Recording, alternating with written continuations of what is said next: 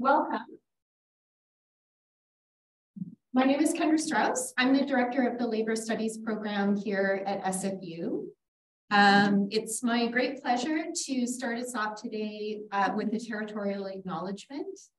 Um, so Simon Fraser University is on the unceded, stolen, and continuously occupied lands of the Tsleil-Waututh, Squamish, and Musqueam people.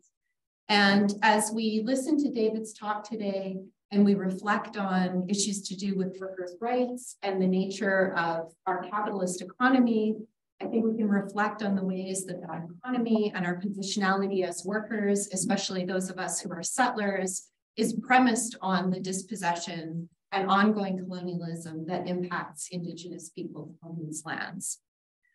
So the format for today is that um, Bethany is going to introduce David, and then David's going to talk probably for about 45 minutes. Um, we're then going to take some questions, and um, there will be questions both on Zoom and in the room. So I'm going to try and manage both. I hope everybody can bear with me if that doesn't go 100% smoothly. For those of you who are on Zoom, I would encourage you to put your questions in the Q&A. You don't have to wait for David to be finished speaking. Um, if you have a question uh, that comes up, you know, as you're listening, please feel free to put it in the Q&A.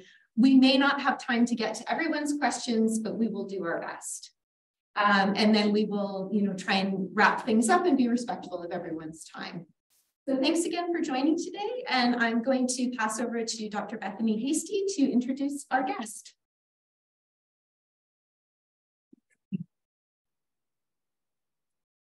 Uh, thanks very much, uh, Kendra. And so, yeah, I'm delighted to present today's speaker, uh, Professor David Doorey. He's a professor of work law at York University and a senior research associate at Harvard Law School's Labor and Work Life program. He served as academic director of Osgoode Hall Law School's specialist LLM program in labor and employment law from 2010 to 2022, and was the Canadian representative of Harvard Law School's Clean Slate for Worker Power project, as well as the author of a leading textbook, The Law of Work, and an award-winning blog of the same name. As I understand it, Professor Doorey also began his legal career here in BC practicing labor law before returning to academia where he's gone on to publish in labor and employment law, legal theory, global supply chains, and labor and climate change, and is here with us today to speak on the topic of the future of Canadian labor law. So please join me in welcoming Professor Doorey.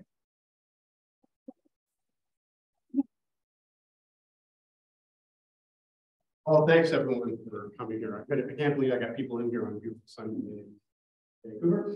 Um, Thank you, Bethany and um, Kendra for having me here. Um, and so um, it's always a treat to come back here. Um, as was just said, I did practice law here back in the late 1990s um, uh, at Victory Square. Anyone from Victory Square here? I at one time. I was at I was at Victory Square uh, in the East. Um, actually met my wife at the courthouse down the street at the call of the bar, British Columbia. Uh, she was a C and I was an E, and we were sat right beside each other. So uh, um, it held a special place for me. Um, and when I came here, I was already a lawyer in Ontario. So they put us in a little separate room of lawyers from other places. Um, and uh, so I'd already I'd already practiced a bit. I'd done a lot of hearings in Ontario, but it was still quite a shock when I got out here, sort of a legal culture shock. Um, when I got out here, things were familiar but different in terms of the law. Um, told Jennifer the story here, but uh, no, I, I just want to throw in a little labor board anecdote because I know half the board is here. Uh, that uh, on my very first hearing, uh, it was in Victoria. I took the damn helijet from around the corner here, which was a whole experience in itself. Um, got to my hearing in Victoria, and early on in the evidence, I very forcefully and, and uh, confidently objected on the rule in Browne and Dunn, uh, which is this obscure kind of evidentiary rule from, from Britain. Um, but in Ontario at the Labour Board, they, they religiously enforced this rule. Um, and I objected. I said, and the vice chair said, what basis? And I said, the rule in Browne and Dunn. and nobody in the room knew what I was talking about. Uh, and he, uh, the vice chair very politely said, Mr. Gorey, we don't concern ourselves with those technical rules of evidence here. Uh, and so I knew things were a little bit different. Uh, Paul Weiler, Professor Paul Weiler, who's sort of a god out here in labor law, once described the culture of BC labor law and labor law policy as tangled and turbulent. And I got a sense of that early on as I was trying to train myself to become a British Columbia labor lawyer as an Easterner. Um, but flash forward 25 years now, and a lot has changed in my life. But quite frankly, not a lot has changed in the world of labor law. Um, and the basic found, oh crap, sorry, I've got a clicker here. What? I actually hadn't moved yet. I'm Oh. about to go there, so Okay. leave. So I should click. Or you can just tell me and I'll do it. Um, yeah, not a lot has changed, uh, and um, there's been some tinkering around the perimeter, the, the periphery of the model. But the model we use across Canada and in British Columbia remains basically uh, as it was structured in the 1940s when we originally adopted it and imported it from the United States. So we tinker with things. We talk, you know, we change in this province. We go from card check to vote to card check to vote to card check. To, can't even, it's just frankly, it's ridiculous. Uh, the number of times that we change the rules about how we measure support for, for, um, for collective bargaining from employees. Um, but even here in BC, where the pendulum probably swings more than other places, um, the underlying core model has remained the same since the 1940s. And as this, most people in this audience will know, the core pillars of that model um, include what I've got up on the screen here, majoritarianism, majoritarianism, which is the idea that uh, you only get access to collective bargaining as an employee in Canada if a majority of your coworkers also want that. Right? So this idea of majoritarianism um, that we took from the American Wagner model. And secondly, exclusivity. So the idea that if a majority, if a union can show a majority representation within a bargaining unit, then the government stamps a license to bargain and negotiate uh, on behalf of all of the employees in the bargaining unit, even the ones that did not want collective bargaining. So those two pillars of the model uh, were imported from the American Wagner Act of, of 1935, um, and which is why we often refer to our model as the Canadian Wagner model. Um, and it's important to add that Canadian part because uh, although the Canadian government's imported the American model, there's always been Canadian, um, unique Canadian features to it. Uh, and so, you know, they, they include, for instance, in Canada, we use the card check system for measuring employee support or, or quick votes, as opposed to the United States where they have prolonged, months long, sometimes years long uh, fights uh, over just trying to figure out if the employees even want collective bargaining. Um, in the United States, uh, employers can permanently replace strikers. We didn't adopt that model here. We have more protections for, for legal strikers, but on the other hand, the Americans actually have a broader right to strike. I'm going to come back to some of this as we go through, but the Americans, um, uh, the American system, for example, does not ban mid-collective agreement strikes. We put that into the statute. So there are, there are important differences. Just a couple, but there's, there's many more um, differences. Um, and uh, so we have a long history of cross-border, uh, we call it pollination, cross-border learning between Canada and the United States over the years, and it goes in both directions. Right? So in the 1940s, uh, it was the Canadian labor movement uh, that was pushing for Canadian governments to adopt an American style legislation. Right? Canadian unions wanted a Wagner, Canadian Wagner Act. Um, and then uh, for much of the, the mid to late 20th century, um, the Americans, especially the American labor movement and, and people who were supportive of collective bargaining, really pushed to Canadianize the American model. So they looked at the things that we do better here in terms of protecting, excuse me, freedom of association. And they said, well, wouldn't it be good if we could take the little tweaks that the Canadians have, have put in and, and bring them to the United States. And leading that argument was Paul Weiler, who left here as the chair of the BC Labor Relations Board and went down to Harvard um, he proceeded to publish a series of papers and books in which he made the argument that um, he made the argument that um, a lot of the explanation as to why collective bargaining is doing better in Canada than the United States by the 18, by the 1980s and 1990s can be explained by differences in legal models. Right? So Paul Weiler argued that if we could Canadianize parts of the American Wagner Act that collective bargaining, more workers in the United States would be able to unionize. And he had this powerful chart that he was able to put into his work, uh, where it, shows that, you know, at the beginning, the United States had much higher percentage of workers who were covered by collective bargaining, but that, um, you know, it started to change in the 19 late uh, 70s, and then Canada's unionization rate had sort of steadily gone up while the United States had steadily gone down. And he made the argument that a lot of the explanation for that is legal. Um, uh, and so, uh, so we have on the one end in the 1940s, we have Canadians arguing that we should do it, we should take the American model and bring it to Canada. And then we've got decades in the late 20th century, and even to this day, although less so, but even to this day, there's a lot of this arguments from the Americans that we should take from the Canadian model and bring it into the United States. Uh, and not to give too much away, uh, but uh, I'm going to argue today that a new chapter in this nearly century long uh, cross-border labor, labor law love story uh, is upon us. Uh, and that in this newest chapter, Canadians once again will look to the US for inspired for ideas on labor law reform to bolster fading collective bargaining here as well.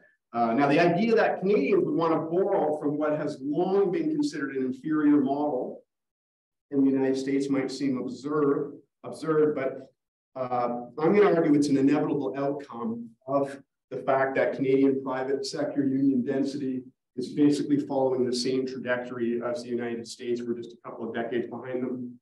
Um, and, uh, uh, and that as we continue to fall down towards 10% private sector union density in this country, uh, it's inevitable that we're going to start to look at some of the same ideas that Weiler was thinking about 30 years ago. And by the way, when Weiler was writing, uh, union density was basically at what it is now. Union density in the United States was basically at what it is here in Canada. Um, 15%. I'm talking about the private sector. All my talk, I'm focusing on private sector labor law. Public sector's got its own issues, but I'm not going there today. We're going to focus on private sector union density. Okay. Uh, all right. Um, but I'm not going to, I'll come back to that story as we go through. First of all, I need to set the parameters uh, for what I'm going to discuss today. This talk is called Mapping the Future of Canadian Labor Law. And the way I see it, there's basically two ways you can approach a discussion or a talk on the future of labor law.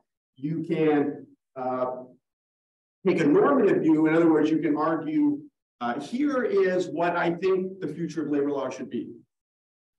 Uh, or if you were making the rules, what would you do? That's, that's one approach. Uh, the other approach, say well, the other approach uh, is to be predictive. In other words, I'm not going to argue what I think the future of labor law should be. I'm going to tell you what I think the future of labor law is going to be. Uh, those are very different things, and we often kind of merge them in, but it's important to keep those two ideas different. And now law reform reports and law reform commissions that are struck by governments are of the first type, right? They take a snapshot of the current world of labor relations, they identify problems, and they propose solutions. Okay? And we have loads of these sorts of labor law commissions over the years. We can go back, we can go back before this, but I'm going to start with the Woods Task Force in the 1960s. Uh, we've got the Sims report on federal labor law um, and uh, a BC Labor Law Reform Commission here in the 1990s. There's also one in the United States, uh, sorry, in Ontario in the 1990s. We go right up to the more recent Ontario Changing Workplaces Review in 2017. And then you had your own, once again, labor law review here in 2018, I think, right? This is constant, right? So there's lots of these over the years. Um, and these sorts of these sorts of commissions produce reports that provide sort of roadmap as to where a government could go if they want to. Um, The second approach to the study of the future of labor law is surprisingly uncommon, right? I say surprisingly because you might think that people would be more interested in what labor law, future of labor law might look like than what some people think it ought to look like. Um, uh, so if you go looking, you'll find, you won't find a lot of writing or papers about what the, what will Canadian labor law look like 25, 30, 40 years from now? You won't find that. People don't tend to do it. And maybe there's a good reason for that, right? maybe nothing good can come of that sort of navel. In other words, uh, you'll, you may eventually be proven wrong. Uh, you may be entirely ignored, uh, or you might be dead by the time you're proven right. So uh, you have to be some sort of button for punishment to stand up in front of people and try and predict what labor law will be in 30 years from now. Uh, this is why I'm the perfect person for this. so uh, I'm going to talk today about uh, what I think is coming next in Canadian labor law, not what I think should come next. Nobody really cares what I think should, should come next. I have some ideas. Everyone in this room has some ideas, right? Uh, but I'm going to focus on this other question of where do I think we're actually going uh, based on everything I read in, in the literature. Uh, so now that we've uh, explained what I'm going to do in this talk, let me begin by uh, repeating something a wise man once said. Okay? Every century develops its own collective bargaining model, and we are a quarter way through the 21st century and still married to a model developed in the Great Depression of the 1930s. Change is coming. Uh, this is one prediction I feel confident in making. Okay? Change will come. The Wagner model is not an eternal feature of the Canadian legal landscape. I have little doubt that the labor law textbooks uh, in the year 2100 We'll refer to the Wagner model in the same way we refer to the master and servant law today. It will be a historic relic, something that we used in a different earlier period. Um, but what model will replace the Wagner model and how we will make that change is really the interesting question, right? That's where we're getting into how do we know what's coming. Well, here's something we do know, just quickly. Again, I think a lot of people in this, this won't be new to people in this crowd, most people in this crowd, but the Wagner model doesn't help most people. In fact, never has, right? Um, we know, and we just saw the chart a minute, the stats a minute ago, we're now at about 15% private sector union density. In other words, 85% of of employees in the private sector are non-union. Uh, and uh, if you work for a large employer, 500 or more people, you're in the public sector, you probably still have a pretty good chance of getting collective bargaining if you want. Not necessarily, it's pretty damn hard to organize those giant Amazon factories, but the model still works relatively well in the giant sorts of workplaces that it was designed to work on. Um, big factories, big, huge offices with hundreds of people, you can still organize those places and get collective bargaining, right? So, but for but for for the vast majority of Canadians who work in small workplaces, collective bargaining under the Wagner model is basically not a realistic option. It's not going to reach them. It never has.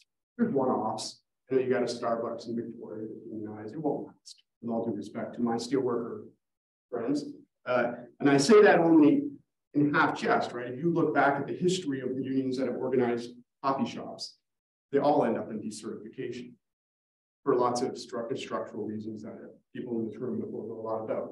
Um, okay, so the best that can be said about the Wagner model is it did a pretty good job of what it was assigned to do, which was to control, uh, facilitate, but mostly to control a labor conflict in giant industrial workplaces.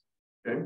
Uh, uh, but if we're interested in making collective bargaining available to everybody else, the 85% of other people, it's actually more than 85% because we're talking about employees, all right? But there's all these other people who are like independent contractors who also are excluded from the model, right? But let's say 85% of people in retail, fast food, uh, home workers, right? The new digital gig workers, the Uber drivers and all that. If we want to make collective bargaining available to those people in a realistic way, the Wagner model is not going to do it. We, now, this assertion is not really controversial, right? I mean, people have been arguing this point for at least 30 years. Right? Uh, the most typical response lately about what we should do in order to expand the reach of collective bargaining is to introduce, develop some sort of system of sectoral or broader based collective bargaining, right? So the idea is uh, that instead of you know, a union organizing a single Tim Hortons and bargaining a collective agreement with a single Tim Hortons franchise franchisee. Uh, let's have a system that allows unions to organize all Tim Hortons employees and bargain one collective agreement that for all coffee shop employees or all fast food restaurant employees, right? One giant, so you're, you're bargaining up top and you're bargaining agreement that comes down, right? Um, I, what I call this in a lot of my writing is ascending up from the Wagner model. Uh, so you, you, the Wagner model is based on you primarily on workplace by workplace collective bargaining. Uh, when we talk about sectoral bargaining, we're talking about ascending up to a higher level, industry or sector bargaining. Okay. Uh, now, I should say, uh, just I should mention the, the calls for sectoral bargaining that are quite common now. Um, and I'm saying common from people who want collective bargaining to reach more people, right?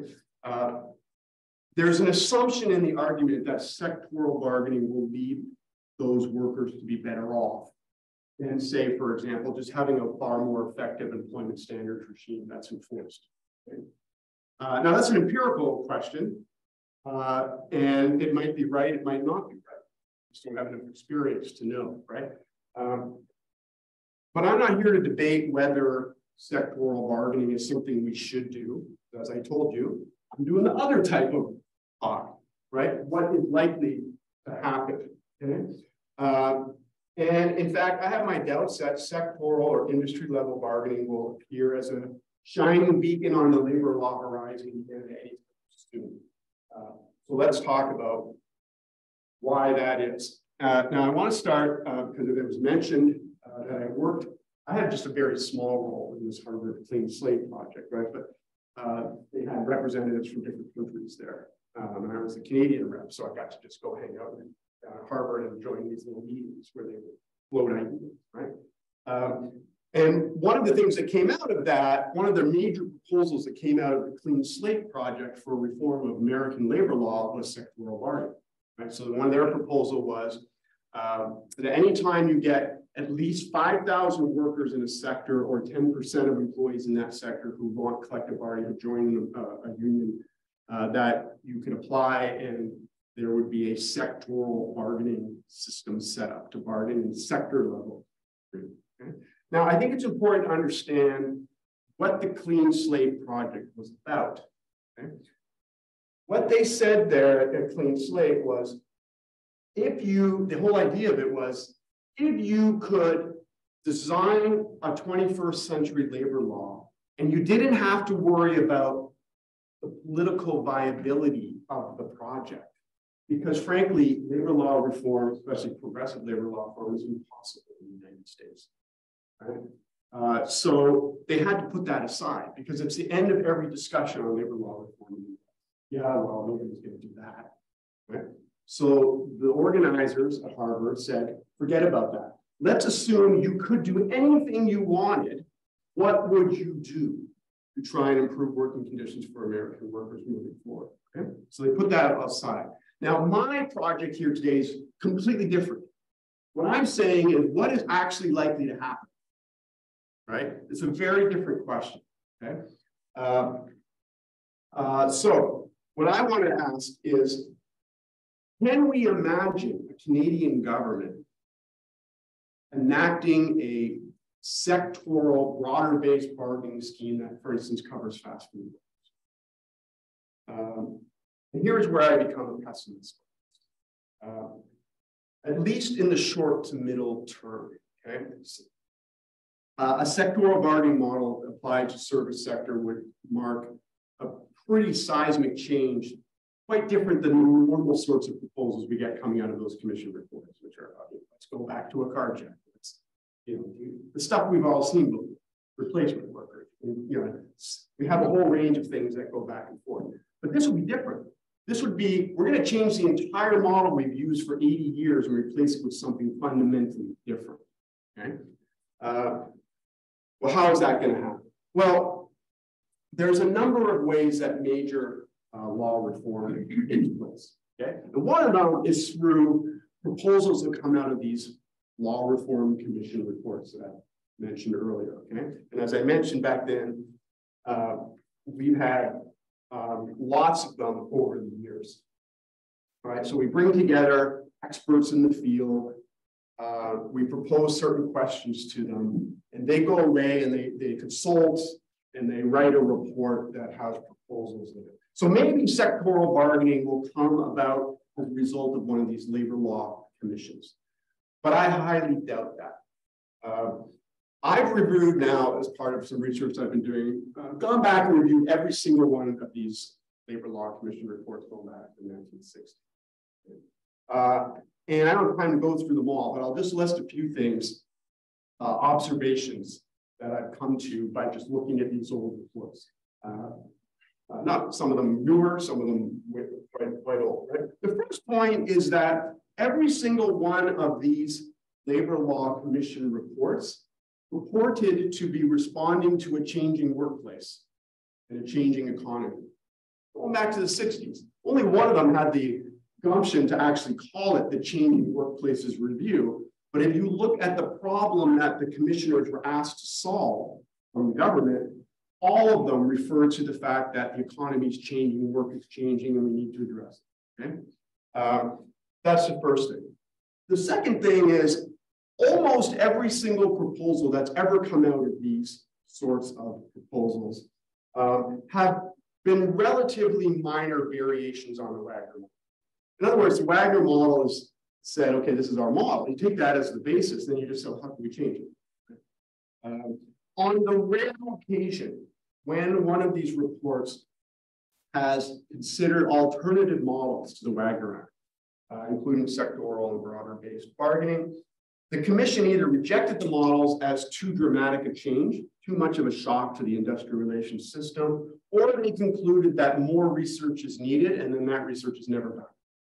It disappears until the next commission comes along decades later and says the same thing. Okay? Uh, and uh, in the case of the, um, you remember the uh, the BC model, you guys probably those in labor law probably remember the 1992 Baigent uh, Ready proposal for sectoral bargaining. Um, and then also the more recent in the changing workplaces review, there was a proposal to require, to allow uh, bargaining uh, of multiple franchisees of the same franchisor. So you could have them all technically separate employers, although they're all under the same franchise. Right? Those sorts of proposals that um, you know, would have brought in a form of sectoral bargaining, quite a narrow one, um, were never implemented. So there's a nice discussion about it, but they're just not implemented. Okay. Uh, and then even reforms that we could consider are more novel variations of the Wagner model, such as things like uh, unions are entitled to a, a list of employees once they start organizing a workplace. Uh, that was something I was actually in effect in Ontario shortly, briefly, right? Um, when you have that sort of a law that's a little bit still a Wagner law, but hey, that's something new. Uh, once a union starts organizing a factory of 500 people and they get up to like, you know, 100, they can apply and they get a list of the contact information everybody. That's that's kind of new. But the minute the conservatives got elected, they got rid of it. Right? So it's not just about coming up with ideas and then getting them implemented. It's having the, the ideas survive the next election, right? Which is a challenge. Okay, so so there's not a lot of precedent for major labor law reform coming out of these commissions. These commissions are by nature conservative. Okay? There are a couple of exceptions. I'm going to come to them in a minute. Okay. Now, also, by the way, we shouldn't expect major labor law reform to come about because clever little academics think that idea. We can all sit in our little offices and dream up creative ideas. Uh, academics have been arguing for sectoral bargaining and other sort of novel forms of labor law reform for decades. Right back in the 80s, uh, Paul Weiler and Roy Adams argued for mandatory employee works councils in every single workplace. Uh, Professor Bernie Adell floated the idea of minority unions and mandatory bargaining and a right to strike for, for minority, like people who are not in a majority union. That was back in the 80s. More recently, we're seeing people uh, propose that Canada should adopt a model that New Zealand just adopted for sectoral bargaining in, in, the, in underrepresented um, uh, sectors, which by the way, that model is likely to get repealed later this fall without it ever having been used um, which kind of makes the point I'm making. It's not just about getting the model in in the first place, it's can it survive the next election? Uh, right, so we have all of these ideas, uh, but governments for the most part have shown no interest in these sorts of novel ideas. And I'm reminded of a comment uh, a commissioner of one of these labor law reform commissions uh, made to me years ago. Uh, we were talking about uh, this idea of workplace voice the idea, oh, we workers need voice in the workplace. Um, and he thrust it off and said, nobody gives a shit about workplace voice except a handful of academics. Right? And that sort of made the point to me that um, fundamental labor law will not come about because clever little experts came up with clever little models. Right? It does not, not how it works. Okay. Well, if major labor law reform is not going to come about out of one of these commissions, and not going to come up come about because clever academics and clever labor lawyers come up with clever ideas, then what will cause the next big uh, uh, transformation of labor law? So far, all I've talked about is what not what is not likely to happen, and I promised that I would talk about what will happen.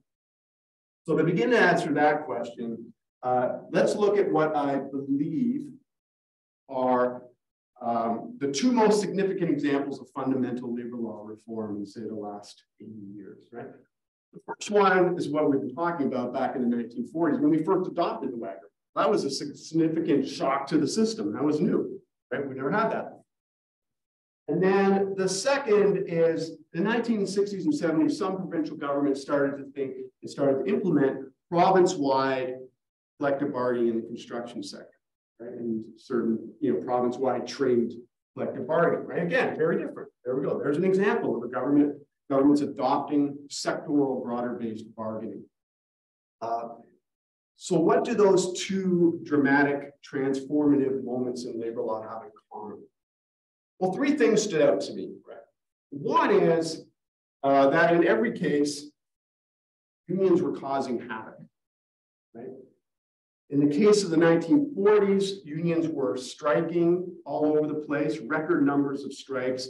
During the war, when the, the, the employers and the governments were trying to keep uh, production going around the clock, workers were going off on strike, right? And so um, in the case of the construction sector, uh, unions were also striking, and you know, so one trade strikes, it could shut down an entire construction project. Uh, but also unions were smart and they were targeting vulnerable uh, contractors, and bargaining good deals, and then using that deal to bargain up deals at other places. So the industrial relations people call this leapfrogging, uh, leapfrogging and whipsawing, right? But the point is, for our purposes, there's a lot of stuff going on that employers didn't like under the existing model. So in fact, if you go back and look at the labor law, construction labor law commission reports in the 70s, the employers are demanding province-wide sectoral bargaining, right? The employers want it because the unions were causing havoc in their industry, right? Uh, so, so that's the second thing, right? So you've got um, militant unions, you've got employers asking uh, for change. And the other thing, and the other thing that happened is in, in both of those examples, there was already experience under a model. Right? So in the, in the, with the Wagner model, some provinces had already started experimenting with a Canadian version of the Wagner model in the 1930s. But more importantly, we had the Wagner model in the United States that had already been in effect for like almost a decade, right? Everybody had a pretty good idea of how it was going to work, right? And in the construction sector, although there wasn't legislative province-wide bargaining yet. There was province-wide bargaining in some trades. Okay? They had done it voluntarily. There'd been voluntary recognition. They're already part. So again, everyone had an idea of how it would work. There were still hiccups and it took a while for it to settle, but people had a basic idea of how it was going to work. Okay. So these observations about the conditions that must exist for major labor law reform take place leads, leads me to a couple of important conclusions. First one is if fundamental labor law reform comes suddenly, like a tsunami that sort of wipes out the Wagner model and replaces it with something fundamentally different, that law is unlikely to be about empowering workers and expanding the reach of collective bargaining. Uh, it's rather more likely to be driven by employer concerns um, and more likely to be about undoing those parts of the Wagner model that empower workers and strengthen unions. Um, and we're already starting to see, you know, we've seen signs of this recently, right? So in Alberta, the UCP recently introduced a law that says employees in a unionized workplace have to opt in to paying share of union dues that goes to non-collective bargaining activities. So this is a crack in the door towards uh, right to work type legislation, which they have in the United States. Um, uh, a couple of elections ago in Ontario, the Conservatives ran, uh, floated the idea of allowing workers to opt out entirely from if you're in a unionized workplace and you don't want to be in the, uh, by a collective, you can opt out. And then uh, they never went forward with that, but they had drafted a bill, floated, it, right? Um, and then more recently, as you probably saw, Ontario conservatives trying to opt out of, of labor law altogether and just use the notwithstanding clause as a clause of bargaining tool. Right?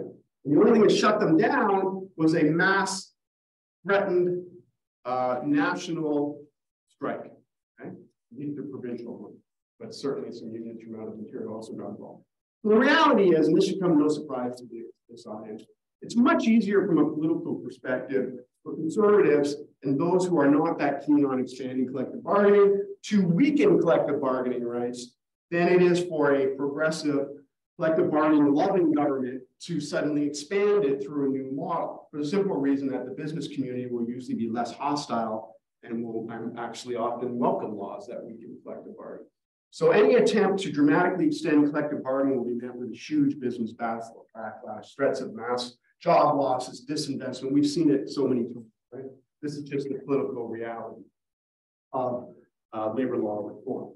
Now, the second major observation that I take from our history lesson here is that uh, uh, a precondition of major labor law reform is a militant labor movement, historically speaking. Okay? Stronger collective bargaining laws have never come about at a time of labor weakness. Okay? Or out of some sudden recognition by the governing party that they, we need to expand collective bargaining rights to people who have never had it before. Labor laws do not build collective power, they respond to labor power, historically speaking. Uh, and we just witnessed the, um, the labor movement, as I said, come together to push back against the use of the notwithstanding clause. That's an important moment in labor history. Uh, if I was a labor leader, uh, and right now, I would be really working hard with my other labor leaders to create a sort of quick fire response that could be pulled out anytime a government starts to legislate back labor rights. But we don't, I don't know if that will happen. I don't know whether the whether that response to the notwithstanding clause is a one-off or sort of the beginning of a you know, movement towards greater militancy in the Canadian labor movement. I don't know. We'll have to see. Okay, so let me sum up where we are so far. I've argued that a fundamental transformation of Canadian labor law will not eventually, uh, oh, sorry, will eventually come, but that because uh, the Wagner model is not going to last forever. But I've also argued that a fundamental change won't come anytime soon, uh, at least not one that is aimed at extending collective bargaining rights to people who have been excluded historically. More specifically, I've expressed doubt that a fundamental change will come in the form of sectoral top-down broader-based bargaining. Um, because fundamental labor law reform only happens in this country when labor is so disruptive that employers are on side. Uh, and right now, uh, uh, there's not a movement. There's not. There's no pressure in the fast food industry for employers to sort of come to the government and say, we, we need some help here.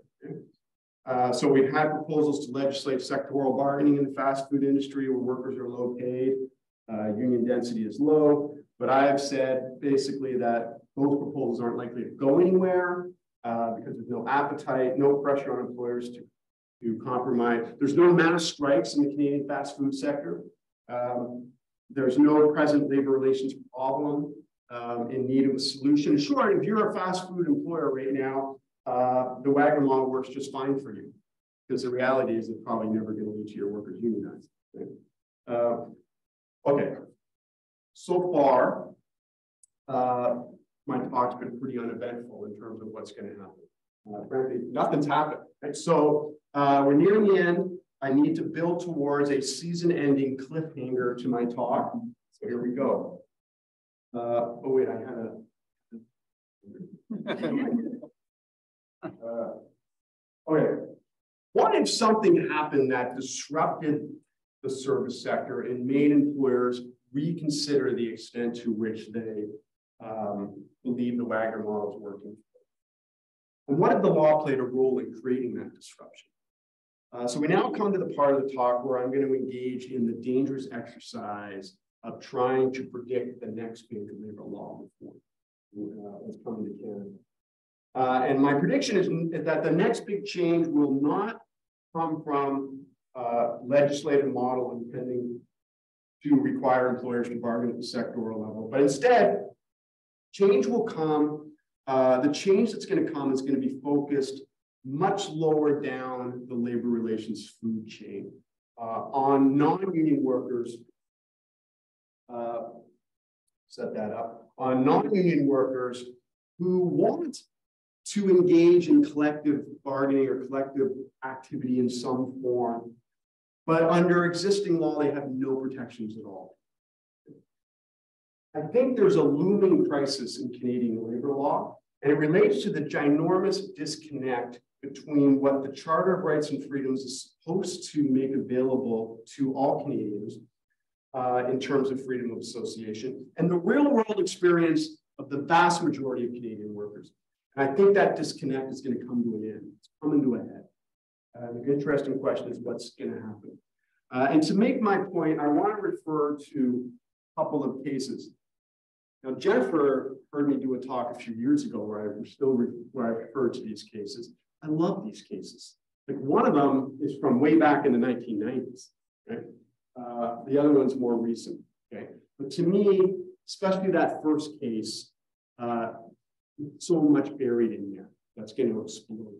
Uh, so let me just quickly tell you what I think we'll go through these cases. Right, the first one, by the way, note because this is important. Both of these cases involve um, women, uh, uh, women workers in sort of lower pay. Now, one of them is law clerks, so they're a bit better paid, right? But but uh, women workers uh, who do not have, they're in jobs that there's just formal collective bargaining is never going to. Okay. So what happens? Well, in the first one, uh, Algoma and Mini World is like a, ch a child care, a daycare center. Um, the workers decide amongst themselves that they, you know maybe we should. There's some things we're not too happy with. We're going to go talk to the employer about them. So they send a spokesperson in and say, we, we as a group would like to talk to you about our working conditions. The employer fires her spokesperson. The other workers get angry at this, and the next day they show up with picket signs out front. Employer fires all of them. Okay. Um, the second case, uh, Burton versus Aronovitch, Macaulay is, is newer. But again, what happens is the, the bunch of female law clerks decide that they're unhappy with the compensation system. They choose a spokesperson. She goes in, says, you know, can we talk to you about our, uh, uh, the way you guys do compensation? The boss says, why are you talking about compensation with your coworkers? Fires her. Uh, now she files a wrongful dismissal lawsuit, which is just about how much notice she should have gotten, right? But what I'm interested in these sorts of cases, these facts here, I just got two. There's probably a bunch from across the country. They're hard to find, and I'm sure a lot of this goes on and nobody complains. Like, so they never make it to a case, right? But the point, what's important about these cases is you've got non-union workers. They try and act collectively. They are fired. then the question becomes, how does the law deal with this? Okay, so the women in Algona hired a very clever union side labor lawyer who brought a sort of test case to the labor board and argued that when you fired the first woman for raising a collective, you know, talking to you about collective issues, uh, start talking to you collectively about work-related issues, and then when you fired a bunch of her colleagues for protesting that, you committed an unfair labor practice in violation of the Ontario Labor Law. Um, the employer responded to that and said, this isn't covered at all by the labor relations legislation. Because, because why, by the way? They got, they got like half the BC labor board adjudicators. What's the employer's argument? Is there any law students here? At least, you guys. okay, I want, I want to do Socratic method for this group. But anyway, so the employer argues labor relations legislation doesn't apply. Why? Put it in a nutshell, there's no union in your story. This has nothing to do with unions. Right? Now, uh, why does that matter, right? Why does why does it matter that there's no union in the story in either of these stories, right? Well, the answer is when we go back in history again, when we adopted the Wagner when we imported it in the 1940s, uh, we dropped a crucial element of the National Labor Relations Act, the Wagner Act, uh, which is a standalone right to associate. That's in Section 7 of the NLRA what Americans call the, well, well, the statute actually calls the right to engage in concerted activities. Okay? We can just call it the right to associate. Right? The NLRA in the United States has a standalone section that says every worker has a right to associate, or the right to engage in concerted activities. Uh, we dropped that in the 1940s and we replaced it with a much narrower right to engage in trade union activities. Now, at the time, nobody noticed and nobody cared. In fact, I've gone back and I've looked at reports that were put out in the 1940s uh, comparing the Canadian legislation to the American legislation. None of them even mentioned this. It never occurred to any of them, experts, writing that this even mattered. That the American one says a right to engage in concerted activities, and the Canadian one says a right to engage in trade union activities. And that really isn't all that surprising when you realize that it isn't until the 1960s where the Americans even realized that their right to engage in concerted activities applies to non-union as well as union. That's when the Supreme Court of the United States ruled in a case called Washington Aluminum, where similar to my story, my cases, right? A bunch of workers got cold in the workplace, or wouldn't turn the heat on, so they walked off and they were fired? When we learn in that case that in the United States, doesn't matter the non-union, uh, they have a right to engage in concerted activity over work-related issues. When you strike, you're protected. Non-union uh, workers are protected. Okay?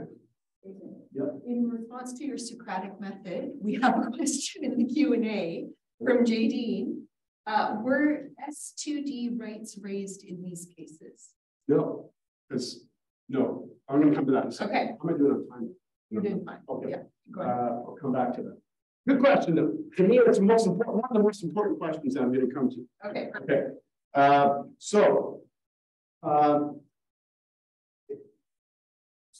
so nobody noticed, really didn't become uh, or even aware in the United States that Section 7 is important.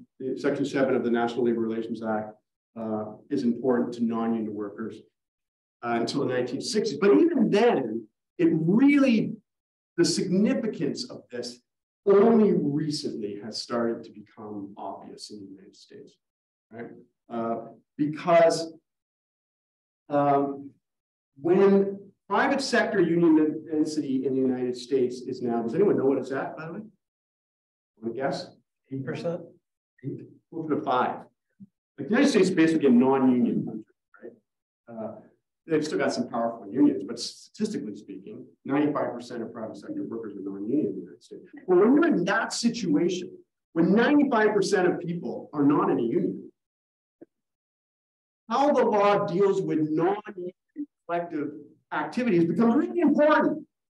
Right?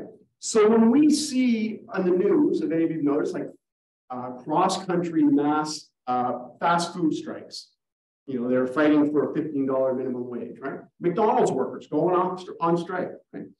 Amazon workers who are non-union going off on strike, right?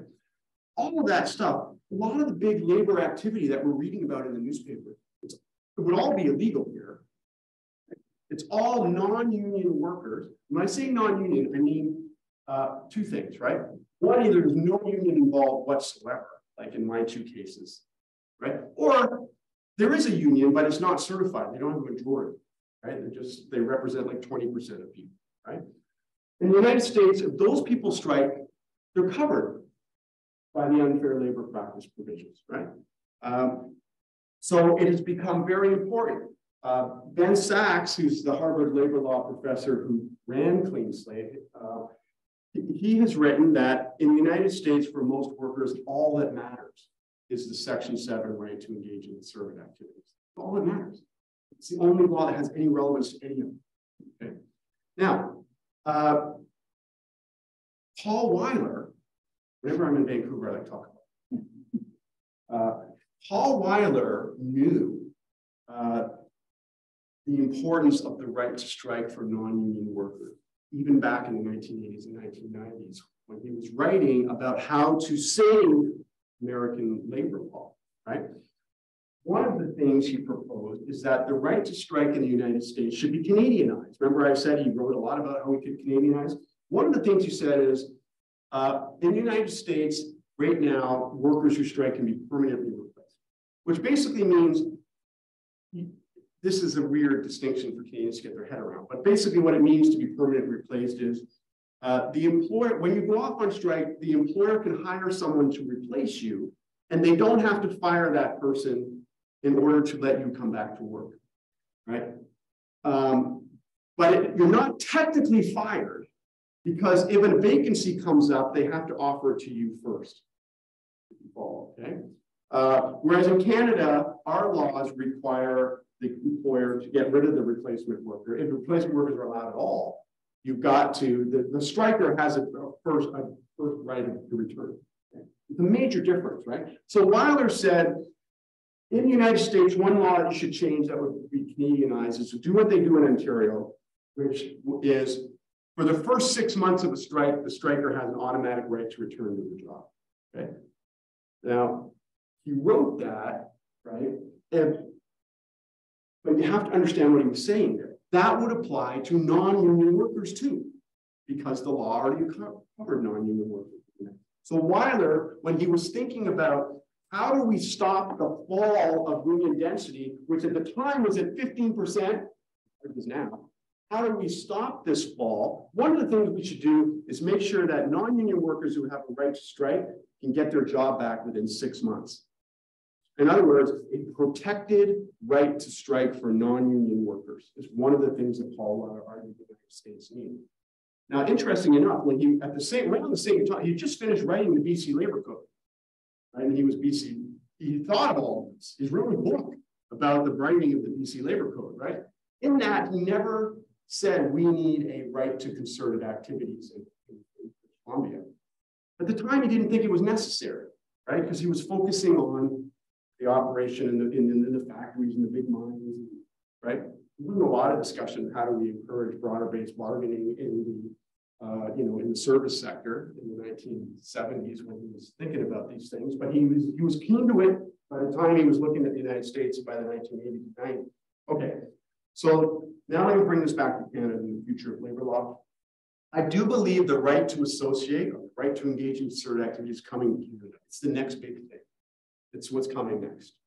Uh, and uh, I know that, well, I don't know it, I feel it for a number of reasons. One is um, I've, I've had policy people from governments call me and they call me and so let's talk about that. So I know they're thinking about right? And it's been proposed in a couple of these reform commissions. We should think about an American style right to engage in concerted activities. But so one way it may come in as a government just put it in, bring it in. Uh, but it also seems to me that we're just one test case away. Now I'm coming to the question. We're just one test case away from the courts getting Uh, and I want to look out for that case, and if you see it, please. I mean, I mean, go back, it could be Algoma, except that's from the nineteen nineties, before, uh, the, before uh, our Supreme Court of Canada had said that Section two D freedom of association protects a right to collective bargaining to strike. Those case, predates, predates that, right? Uh, but let's consider again those daycare workers. Okay? Um, uh, what if a case like that came to our esteemed colleagues today? I can't believe I have them in the room. so I would expect an answer, right? It's not an experiment. Uh, and so what's happened is you got a bunch of non-union workers. They raise it, they come to their employer as a, as a group. They haven't even thought about it. Not, they, haven't, they didn't know they could. They're just not informed, right? They just said, you know what, we're not really happy. We fire, right? Now, and then they go off on strike, protest the firing, right? And they come, they file an unfair labor practice at the BC Labor Relations Board. Uh, and the BC Labor Code says everyone has a right to engage in trade union. It's illegal to discriminate against someone for engaging in trade, trade union activities, just like every other statute across the country. Okay? Comes to the labor board. Okay? And the labor board decides that the BC code does not protect these workers, um, doesn't cover non-union workers who raise collective concerns and then go off on strike um, when they don't like the answer. Uh, because only uh, employees who, who do that through the vehicle of a trade union. Uh, and they didn't do that. Uh, and even then, only employees who are in a majority certified union or volunteer recognized union, majority union, who have gone through all the hoops that we go through in Canada to get to a legal strike position. Uh, only those people are, le are legally protected if they go on strike. Um, so we can't, we got, can't help you, right?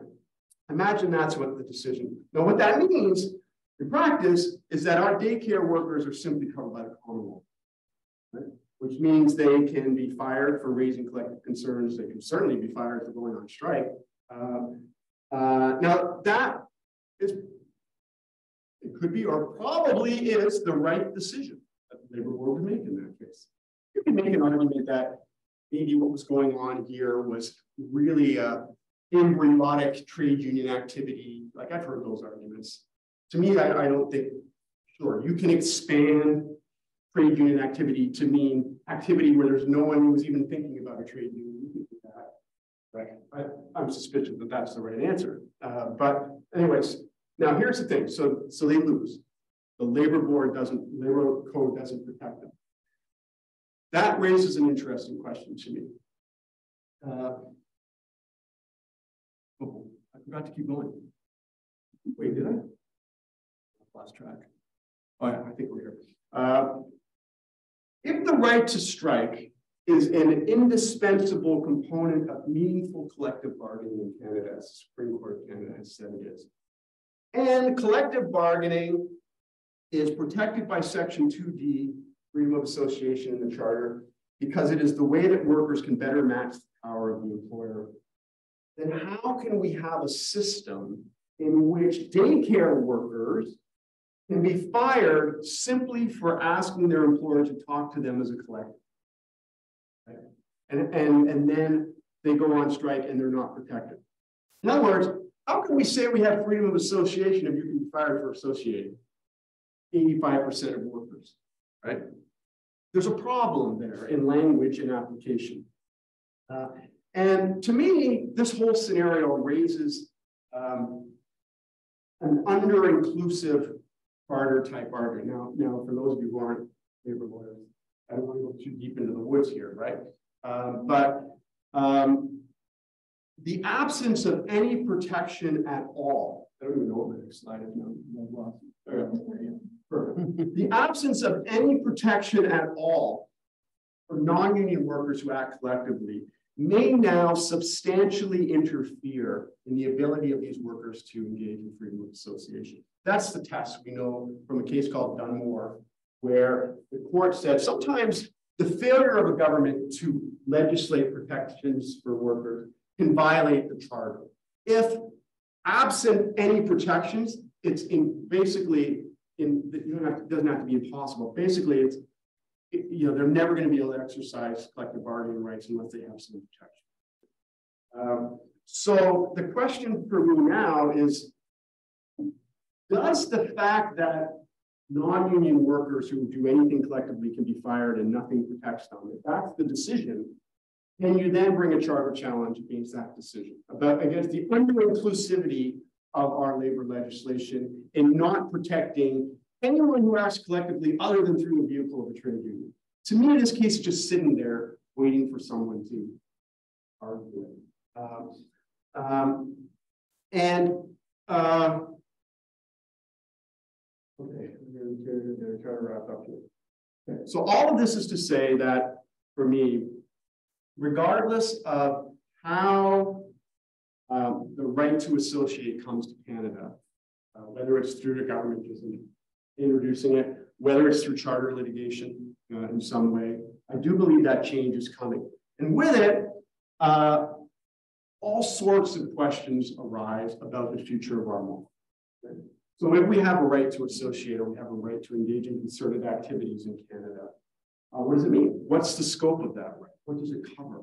Uh, does it impose obligations on employers?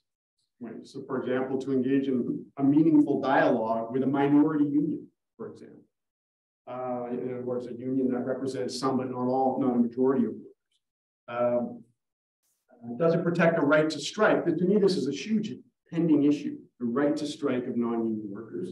It's something we're going to have to figure out after the right to strike became a constitutionally protected right. Uh, and other questions. In other words, I think that the right to associate is coming. Some way or another, it's coming.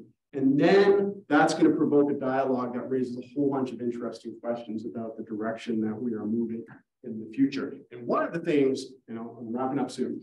In theory, it's possible to imagine this, what comes out of all of this, um, eventually leading to the sort of havoc in fast food sector, for example, of the sort that I mentioned earlier would be necessary in order for us to really start thinking about serious, seriously about uh, sectoral level bargaining.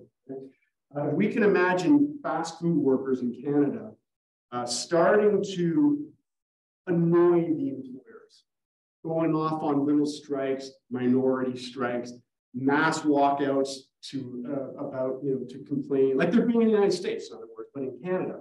And imagine that uh, because of the history of the way Canada's work, our right to strike of the non our right to engage in concerted activities is similar to the US, but different. Maybe our courts and our legislators have actual a, a protected right to strike. So you can't permanently replace a non-union worker who goes off on strike about working conditions, you know, as long as they meet some conditions. It's a notice to you, right? Uh, but the point is, this is an agitation. It's a new little virus put into the Canadian industrial relations system that's been pretty much stale for 80 years, and we don't know what's going to happen, right? I think there's a lot of things I don't know what's going to happen. I'm just saying, I think this is common, and really what we need to start thinking about is what it would mean in the Canadian context, uh, because it, to me, it opens up a whole bunch of questions, okay? So um, just to wrap up then, uh, The introduction of a freestanding right to associate or engage in concerted activities that I think is coming uh, is no, by the way, I should say this, no guarantee of a utopia for workers. All we have to do is look to the United States to see. I, I'm, I'm not, I'm not advocating. Remember what I'm doing? I'm predicting what I think is going to happen, right? It's a whole other discussion about whether whether this will end up being a good thing for workers or not, right? just to, again, not to go off, but for the real, like the, the expert people who spend their whole lives in labor law, the agricultural, the Agriculture Employees Protection Act in Ontario, Bethany knows, actually already pretty much has a right to associate in it, right? But it's actually a much weaker form of collective bargaining than the Labor Relations Code, Relations Act, right? So just because this, I think the right to associate coming to Canada, I'm not saying that this is going to be a great thing for workers. It may not. It could be. It may not be. It, uh, that's the question, right? Uh, but if you were to ask me, as I was kind of asked, to talk about what's the future of labor law, at least in the near term. Uh, I could talk about smaller things like, for instance, I think one of the things that's going to come down the pipes is a right to engage in a digital picket line. Uh, we start thinking about that. I could go through those sorts of sort of micro little variations on the Wagner. But more fundamentally, if you ask me what's the future of labor law, I would say um, that we need to look downwards. Right? We're spending a lot of time right now thinking about ways to ascend up the world, which is good. I mean, have to have those discussions. I'm just not confident we're going there anytime soon. Where the real action is going to be, in my view, is down. Descending down from the Wagner Act, the Wagner model of majority trade union rights and exclusivity. To me, the, the next big fight or development is down here, sort of at the individual right to act collectively.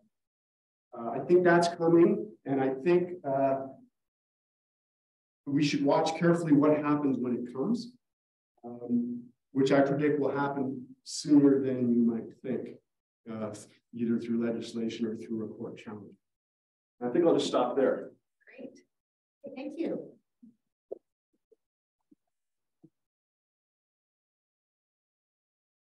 So I have three questions already online, but maybe what I'll do is just do a quick scan and see if anybody here in the audience has any questions. And in the meantime, I'll stop our screen sharing.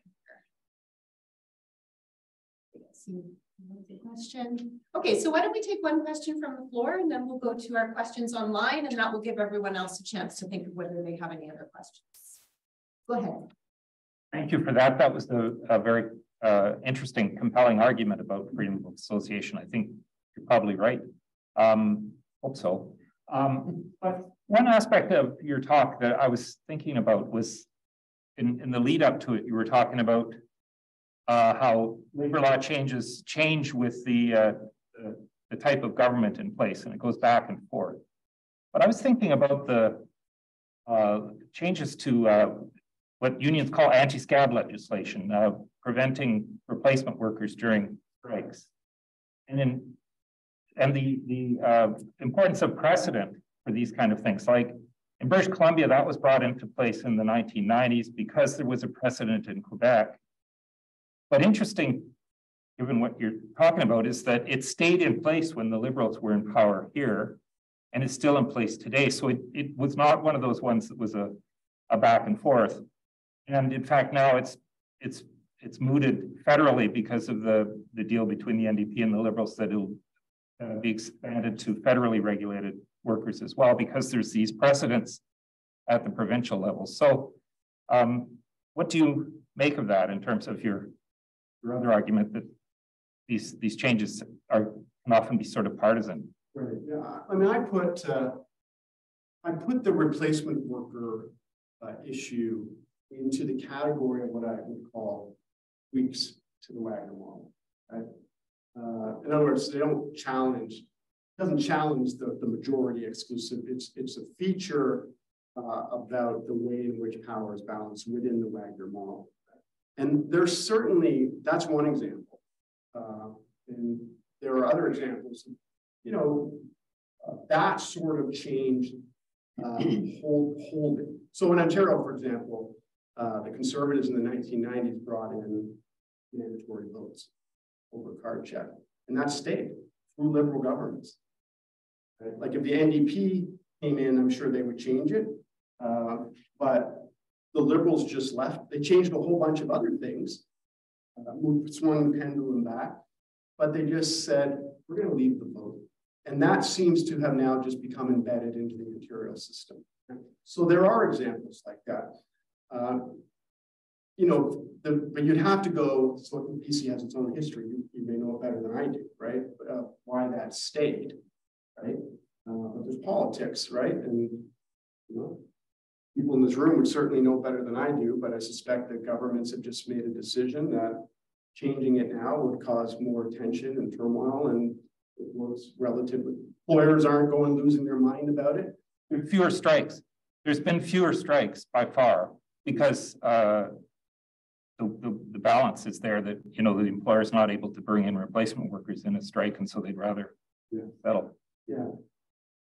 But like, for my larger point though, um, yeah, there, within the Wagner model, there are, there are changes that are made, pending, but I don't, like the introduction of a ban on replacement workers is not a fundamentally new labor law.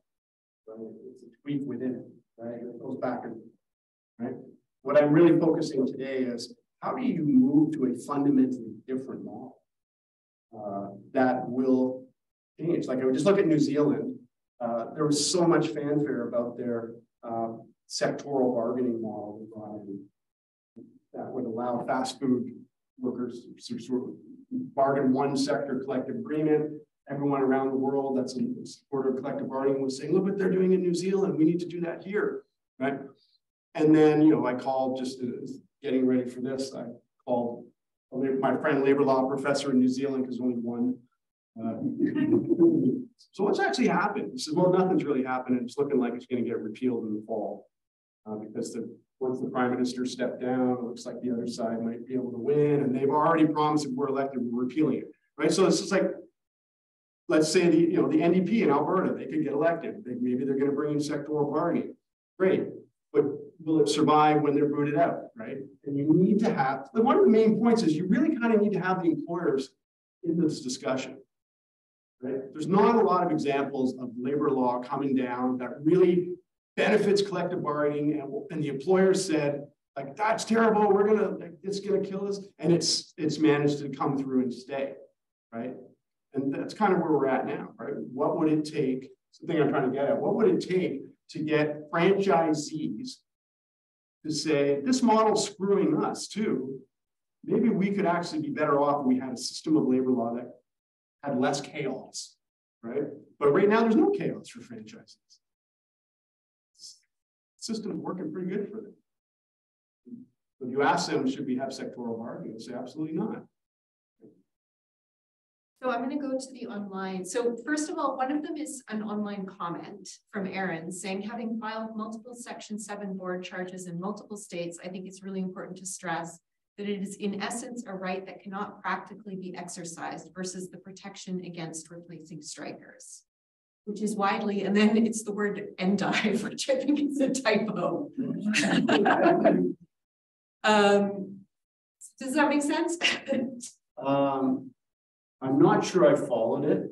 Um, if, if, the point is that uh, in the US, Section 7 is more, uh, as it applies to non-union workers, yeah. is more uh, you know, it's it's not as good as it sounds. Right. In other words, I get the sense that's what it's more paper yeah. tiger. Yeah. Uh, yeah, I, I understand that. And that's why, in the context of talking about it within the Canadian context, it becomes interesting because we have history of stronger remedies. Mm -hmm. So the, the question is, if we brought in a right to engage in concerted activities in Canada, would our culture of having more effective remedies for unfair labor practices remain? In which case, it would be like a much stronger version of the American right to engage in concerted activities. But if it if it just came in like the American one and the employer could just fire everyone who, you know, sure, it's a violation of it, but good luck. Uh, here's a few bucks, then that would not be that helpful right? That's why I say there's all these questions. What would it mean? How would it work? What would it actually, you know, how would it fit into the Canadian system? So Don has a question, is the same predictive solution, so what you're predicting, trying to make sense of this question as I read it, the same treatment to public sector unionized return to work orders? So for teachers, transit, healthcare, or other designated emergency services. So I think what they're asking is can something similar be applied in the case of return to work orders? Um, because of, presumably because of political motive, mobilization and labor mobilization against them. No. You're talking about back to work legislation? Return to work order. I, I assume that's what they mean. Yeah, because we're talking about unionized. I mean, we're already we're already dealing with back to work legislation within a charter context now, right? So that presumably would just continue you know, is it a violation of your freedom of association to, mm -hmm. to order people back to work?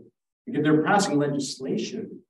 Um, to bring people back to work when we challenge that as a charter challenge. I don't think that would change by anything I'm saying. Uh, Unless I misunderstood the comment. Yeah. No, I don't think you did.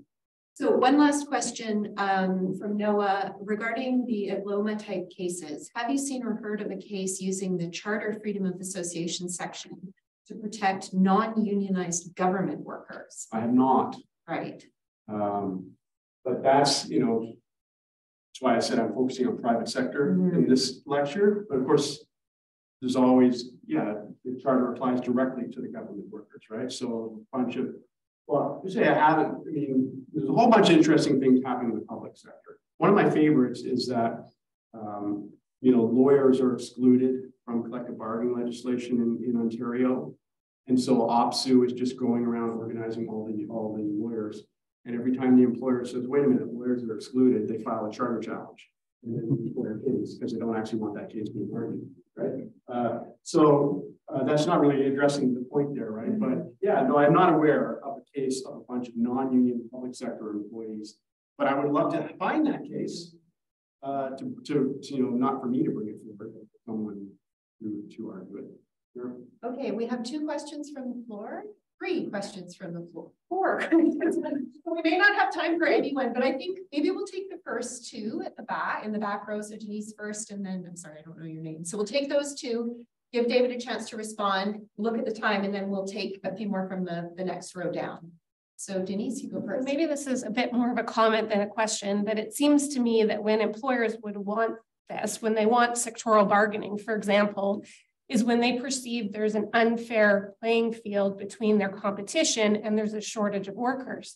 So essentially what we're seeing right now from gig work companies is that they are demanding the government sectorally bargain for those workers so they can they can compete with the other companies and also they can try to retain workers within that model um, who might otherwise leave for other forms of employment. So, I mean, I'm working a lot in the gig work area right now and trying and working with workers who want to improve their rights. And so leaving aside the issue of misclassification and whether they should or shouldn't be um, employees to start with, I do think that there may be some interesting movement that could happen in that area because of the pressure both on the employers and the demands from the workers up. Um, and there, although there are, we'll say, some unionization in the sector or union affiliation, there is no majority unionization in the sector. Yeah, and so there's a there's an area where I think this stuff could matter and so one of the first things I worked on when I was a lawyer way back in was a big campaign to organize taxi drivers in, in Toronto. Um, and, you know, to me, that Uber stuff is not much different than the taxi drivers. Just the, the way they get their calls. Instead of it's a dispatch radio, it's now a phone, right? But, um, you know, but um, the unions won those campaigns uh, got certified. They're all found independent contractors. They, they won. Um, but there's huge, they're all decertified now. There's huge problems in servicing those bargaining units, right? And it'll be even harder with Uber because at least the taxi drivers, you knew who was driving, most of them, you know, somebody knew who the driver was. Uber's employees come and go every day, right? You never who's in the bargaining unit in terms of servicing. But what if, uh, you know, so but in that context, let's say like, you know, I don't know, 20% of Uber drivers just go on strike. That does it does it have any effect at all on it? Like I don't know how you run a strike for Uber. That's to me one of the big questions, right? But right now, if they're not employees and they all decide to, you know, strike, you're in now in antitrust problems and competition law uh, that needs to be sorted out, right? But assuming they're employees, um, they're they're like our Roma people, right? They you know, so they might be interested in, and then if you can cause, you know, you can get a union of Uber drivers, uh, gig worker drivers that starts randomly striking or causing havoc. And yeah, you're now in a discussion. Of, okay, we need a system to stop this, right? And so that's all going to play out. You didn't ask a question and I didn't give you. a- Okay, we can push it back here. Yeah. So I'm, I'm Derek, so I'm lay counsel for the TSSU, which is holding the strike vote you might have seen downstairs. Um, Teaching Support Staff Union, we're independent uh union uh here, um, and represent teaching assistants and research assistants, at least in our view. Um, interestingly enough, so we may be putting the uh particular, an interesting flavor of your test case to test soon because we are uh taking a strike vote, but is a strike vote of uh bargaining unit members who have a collective agreement and voluntary recognized folks who SFU has argued are not um, bargaining unit members um, are covered by the labor code. We are taking a vote and will be, you know, expected to be positive and be going on strike soon, right? So that will be a very, um, I think, an interesting, uh, different flavor of that because we are a union. Those folks are uh, workers in our view, and they are, uh, but they are not covered by the code. I think uh, the employer would view that. Um, and uh, yeah, so they will uh, keep you posted maybe. Um, and I guess maybe could you speak at all because to ask you a question about like how that in a sort of in a non say non-union if a union decides to represent people, um, how that might play into the freedom of association if they engage in concerted activity. Is that different from um, if it's they're just non-union individuals uh, engaging in concerted activity? Well, I mean, right now, unless the union gets a majority and is certified of voluntary recognition, they have no rights. I mean, the only difference is if they're fired, these people are fired joining a real union, and the code applies to the firemen. They can, you know, access the unfair labor practice, whereas the Algoma case, they can't because they're, they're not engaged in any sort of trade activity. I should say, by the way, that in the Algoma case, what happened is um, it settled, first of all, so it never got decided. Um, but the labor board had to deal with a, a in the case itself was a preliminary uh, case. The union had to show that there's at least an arguable case that the Labor Relations Act apply. And the labor board said, this is a really interesting problem. Um, but thankfully, I don't have to answer it because all I have to say is, it's at least arguable that a group of workers who have never spoken to a union who are fired um, could argue that that is captured by trade union activities and the, and the vice chair said it's at least arguable and then case settled right uh, so you know we're still waiting for a case uh, where someone has to figure this out directly i'm a little surprised it never has been argued right it, i mean it takes a lawyer i suspect a lot of time they've just been told well it doesn't cover you past, they're just gone. Okay, I think we have time for two are relatively quick questions if possible. That's you. It's not. Oh, okay. Um, I think there are also some economic factors that can enter the analysis, maybe parallel to what you've done.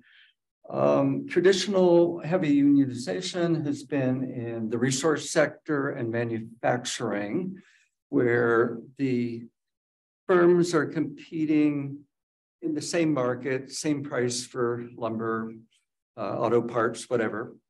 In carrying this over to the service sector, like fast food, it's dispersed between big cities, small cities, and towns. So we're unlikely to see sectoral unionization or bargaining because in the small town, the cost of living is much lower, and also the ability of customers to pay for that hamburger is not what it is, say, in downtown Vancouver. And that, I mean, we might predict possibly uh, some unionization for a sector in the highly urbanized area, but you're going to have resistance from the franchisees in the lower cost areas where their market, they can't charge the same thing and and the workers are willing to come with less pay because their housing costs are a fraction of in the city. Yeah, I mean, it, it of you know, different models are, are floated, but a lot of them do work in recognition of that fact. So you can have uh, you can have different rates for different areas uh, that are somehow tied to mm -hmm. consumer price index or something like that. Because the unions don't want people to be bad work. So you can have, yeah, a, different rate for the cities. Uh, and there's no reason that can't be bargained at a central table. Like collective bargaining, once you get there and get the people, it's quite, it's quite versatile, right? You can sort out those sorts of problems, but it is a real problem. Yeah, sure. If you had bargaining for the whole province of Ontario and you know, it's just a bunch of unions in Toronto, this is in a way, you know, running out of time, but in your, your BC model, the Baigent Ready model, the idea was you would have bargaining in the geographic area. So all, all coffee shops in the city of Vancouver have that.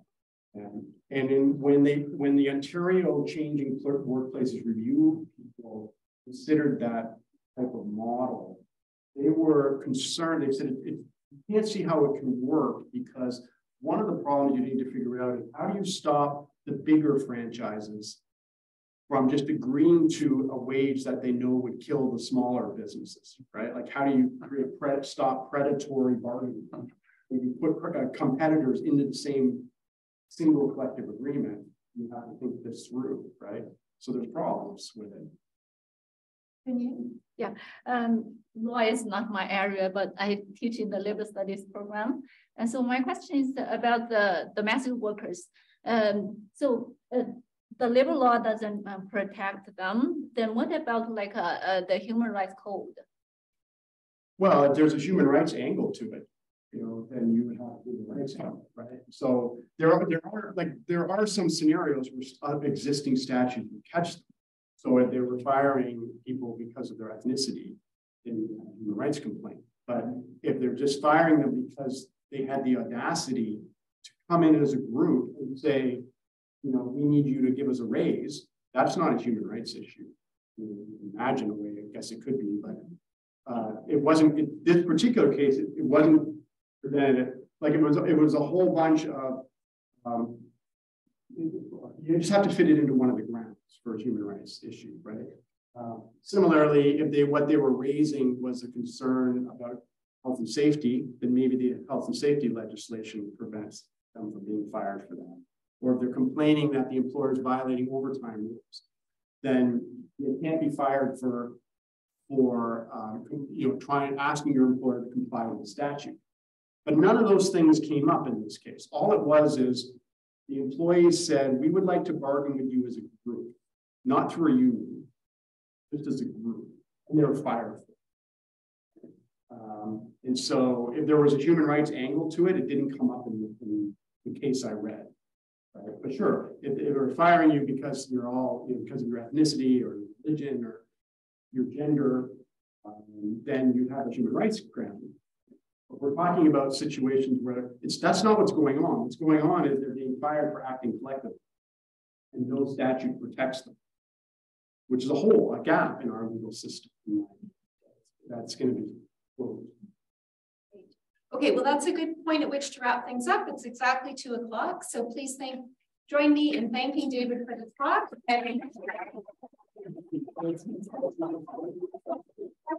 might be able to come down and catch him before he leaves. So thanks everyone for coming. Thank you, everyone.